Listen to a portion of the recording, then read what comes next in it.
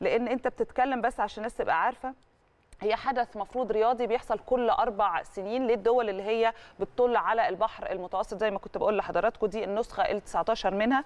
أنا عايزة أقول بعض المعلومات كده بس خلينا نبدأ معاك بأول أخبارنا علشان إيه الكلام يبقى ماشي بالترتيب. خلينا نبدأ معاك أول حاجة خالص. هو عموما هو يعني كده كده كله مرتبط ببعض لا العملية في بيتها. إحنا في الآخر بنتكلم على نفس الدورة. اللي طبعا بتقام زي ما نهاوند بتقول لحضراتكم كل أربع سنين. وبطبيعة الحال حتى اسمها بيقول إيه يعني هي طبعا مقامة أو بتقام للدول المطلة على ساحل البحر الأبيض المتوسط.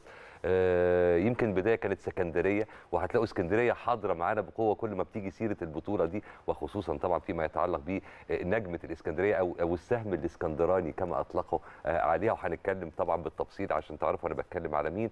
آه، على كل الأحوال يعني لازم نقف تقديرا واحتراما لكل البعثة المصرية اللي شاركت في هذا الحدث الكبير. الحقيقة كل اللي قدموه عبارة عن أداء راقي جدا ومنافسة آه، شديدة جدا. حصدوا بموجبها الكثير من الميداليات. آه، الحقيقة امبارح بس كان في أربع ميداليات ذهب واحدة في السلاح لزياد السيسي واثنين لرفع الأثقال لنعمة السعيد وواحده لبسنت حميدة اللي أنا كنت بتكلم مع حضراتكم عنها من شوية. فازت امبارح بالميدالية الذهبية في سباق 200 متر. آه، يعني عدو طبعا ده غير الفضيات آه، الفضية والبرونزية في حصاد الأمس آه، لوحده.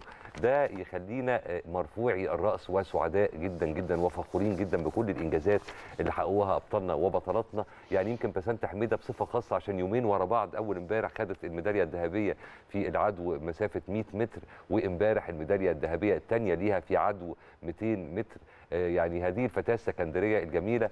الحقيقة من أول ما بتنطلق في أي سباق من السباقات اللي شاركت فيها واللي تابعناها مش مجرد بتفوز لا دي بتفوز وبتبقى آه، يعني عاملة مسافة كبيرة في مسافة كبيرة بينها وبين أقرب ال- المنافسين آه، منافسات ليها. الحقيقة حاجة محترمة جدا وإنجاز آه، مشرف كلنا فخورين. الحقيقة بمشاركة البعثة المصرية بالكامل ولا سيما بطبيعة الحال أبناء بقى وبنات النادي الأهلي اللي أنت آه، كنت عايزة تتكلمي أو, نقف عندهم أنا بتفق معاك جدا جدا في النقطة دي. إحنا لحد دلوقتي حصدنا يعني 43 ميدالية. إحنا هنتكلم بقى بلغة الأرقام. حصدنا 43 ميدالية بينهم 11 ذهب 14 فضة و18 برونز. بس في نقطة أو في حاجة برضو لازم نتكلم عنها هنا وهي عدد البنات. لأن أنت بتيجي بقى تتكلم عن المشاركة النسائية عدد البنات اللي حصدوا ميداليات هم 13 بنت بالإضافة لفريق تنس الطاولة سيدات اللي حصد الذهب وهو مكون من ثلاث بنات مريم الهديبي ودينا مشرف وهنا جودة. يعني بنات كده. المجموعة 16 آه 16 بنت و... وهنا الواحد مش عايز يتكلم اللي هو بقى يعني يبقى في تمييز بين بنات وولاد أو كده لكن في هنا رسائل إحنا ممكن من خلال اللي بيحصل ده نوصلها. يعني والرسائل دي ممكن ان هي توصل للأهالي الناس دايما أو الأهالي دايما لازم يكونوا حاطين في دماغهم إن الرياضة للجميع ما فيش بس وردي ابني يتمرن وبنتي لأ.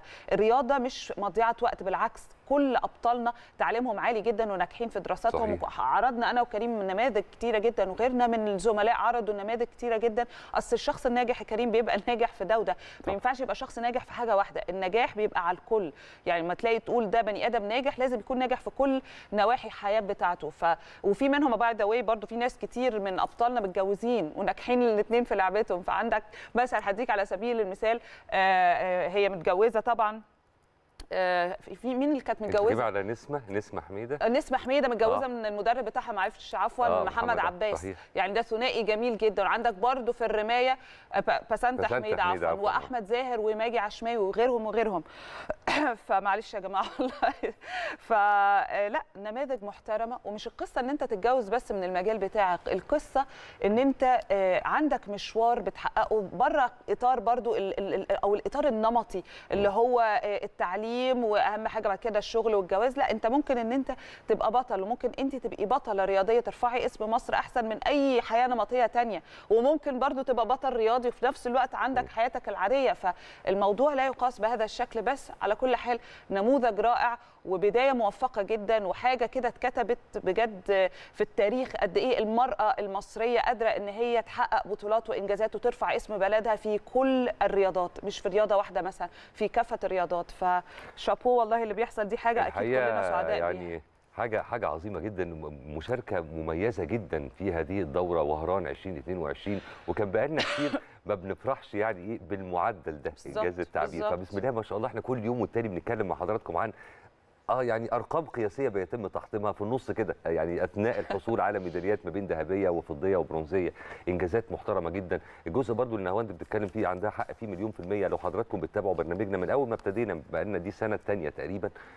ما فيش نموذج كان موجود معانا دي بطل أو بطلة في عالم الرياضة بشكل مم. عام غير لما كان فعلا ناجح على كل الأصعدة لأن المبدأ وحده أو مش المبدا السيستم بيبقى واحد فكرة إن أنت عندك إصرار ما أنت بتقدر تطوعه لخدمة آه، الوصول لهدف معين الهدف ده ممكن يبقى الحصول على شهادة آه، معينة ممكن الحصول على آه، لقب معين الحصول على مركز معين في رياضة معينة فهو. الفكرة نفسها واحدة والناس دي بيبقى عندها قدرة استثنائية على تنظيم وقتها. تسمعي أغلبهم يقول لك إحنا بنصحى من الساعة 4 5 الصبح عشان نروح نتمرن قبل ما نروح الجامعة أو حتى مم. المدرسة في بعض الأحيان.